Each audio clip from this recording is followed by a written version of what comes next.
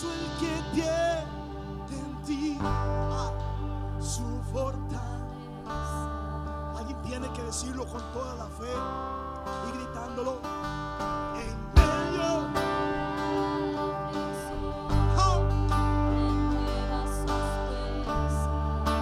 Dichosos, dichosos.